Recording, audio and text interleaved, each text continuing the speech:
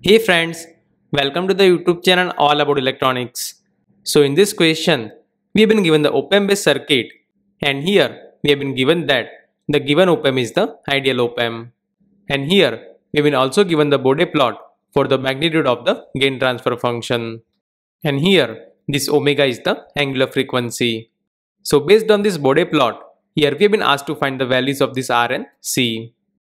So here, let's say this resistor is equal to R1 while this another resistor is equal to R2. So here, if you see this circuit, then it is nothing but the low pass filter. So as you can see, here this low pass filter is connected to the non-inverting terminal of this op-amp and through this feedback resistor and the resistor R1, the output of this low pass filter will get amplified. So here, this V plus or the voltage at this non-inverting terminal can be given as this 1 divided by j omega c that is the reactance of this capacitor divided by this R2 plus this 1 divided by j omega c or we can say that that is equal to 1 divided by this 1 plus j times R2 times omega c. So that is the voltage at this non-inverting terminal and this voltage will get amplified by the non-inverting gain of the op-amp. That means here this Vout is equal to 1 plus. This R divided by R1 times V plus. Or we can say that that is equal to 1 plus R divided by R1 times. This 1 divided by 1 plus J times R2 times omega C. And of course over here we will also have the input voltage. That means if we see this V out divided by V in, then that is equal to 1 plus R divided by R1 times this 1 divided by 1 plus J times R2 times omega C. So now if we just consider the magnitude of this V out divided by V in, then we will have 1 plus R divided by R1 times this 1 divided by square root of 1 plus R2 square omega square C square. So this will be the gain transfer function and specifically that is the magnitude of the gain transfer function. So from this we can easily find the values of this R and C. So let us see that. So here this V out divided by V in or the magnitude of the gain transfer function is equal to 1 plus R divided by R1 times 1 divided by square root of omega square R2 square C square. And here this is the Bode plot of the given transfer function. So here whenever the omega is equal to 0 then the gain of this transfer function is equal to 12 dB. So we can say that this 20 log of AV is equal to 12 or we can say that this AV is equal to 10 to the power 12 divided by 20 which is roughly equal to 4. That means whenever the omega is equal to 0 or at the DC, this gain transfer function is equal to 4. Now in this expression, whenever we put the omega is equal to 0, then this term will become 1. And eventually we will have this 1 plus r divided by r1. So we can say that this 4 is equal to 1 plus r divided by r1. Or from this we can say that this r divided by r1 is equal to 3. Now here since r1 is equal to 1 kilo ohm, so we can say that the value of r is equal to 3 kilo ohm. So in this way we got the value of the r. So similarly now let us find the value of the c. So in this Bode plot if you see then whenever this log of omega is equal to 3 at that time the amplitude of the gain transfer function reduces by the 3 dB. So initially it is equal to 12 dB but whenever this log of omega is equal to 3 at that time this amplitude reduces by the 3 dB and as you can see it becomes 9 dB. So this frequency is known as the cutoff frequency of the filter.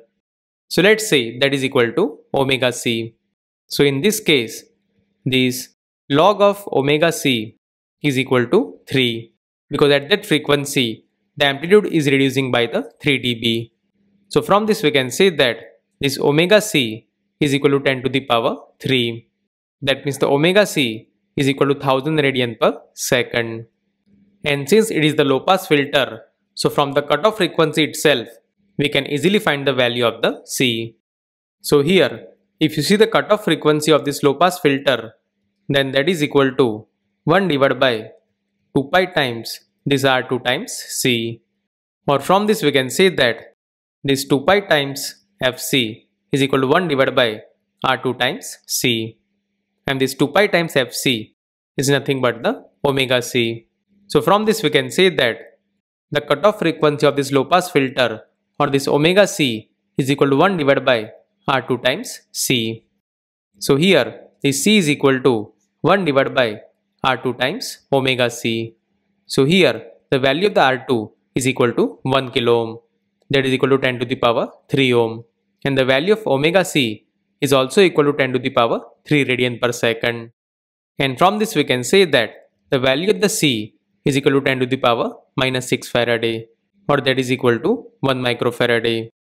So if you know the value of the cutoff frequency of the low pass filter, then from this you can easily find the value of the C.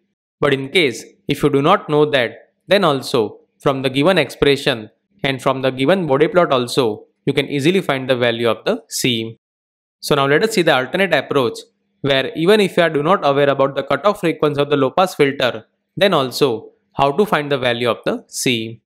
So we know that at this frequency, the magnitude of the transfer function is reducing by the 3 dB. That means whenever this omega is equal to 10 to the power 3 radian per second, at that time, this 20 log of AV is equal to 9 dB. So from this, we can easily find the value of the AV.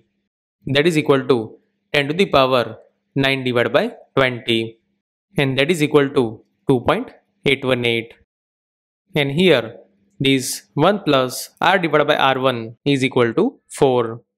That means further we can write this expression as this 2.818 divided by 4 that is equal to 1 divided by square root of 1 plus omega square r2 square c square. So further if we simplify it then we can say that this 1 divided by square root of 1 plus omega square r2 square c square is equal to 0.707.